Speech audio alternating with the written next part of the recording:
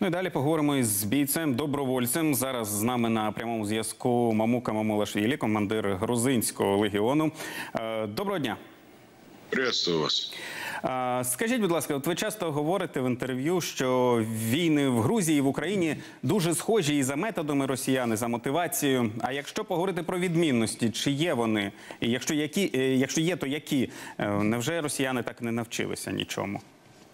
Знаете, россияне научились ничему на протяжении всей истории, как видно. То есть, ну, вот это варварское отношение вообще э, с теми, с кем они- воюют, остается идентичным, как в Грузии, так и в Украине.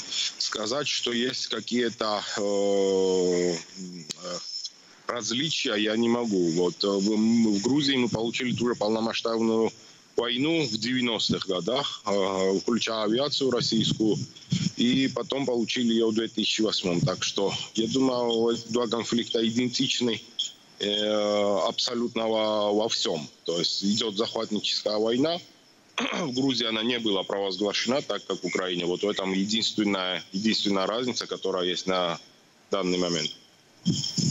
А ще скажіть таке, Україна невдовзі отримає сучасну зброю за програмою ленд-лізу. На вашу думку, коли і як це може змінити подальший хід війни? Я думаю, это ключевой момент в войне, его как раз вот сегодня на работу настанет. Это то, э, что было нужно на бывшем советском пространстве, чтобы э, в конечном итоге покончить с Советским Союзом. Я думаю, вот э, первые минуты ленд-лиза есть конец э, Советского Союза. И, к сожалению, это происходит на территории Украины, и это стоило жизни э, десятки тысяч украинцев. И э, мы, мы увидим э, очень э, радикальную смену ситуации на линии фронта после того, как начнет поступать американское вооружение. И это изменит ситуацию довольно быстро. А як ви думаєте, чи багато ще чекати до цього моменту? Я думаю, совсем недолго это произойдет, думаю, на днях. А, і ще таке запитання: чи ймовірний варіант, що ну, там за якихось обставин Путін сам виведе війська з України, і, і що це можуть бути за обставини?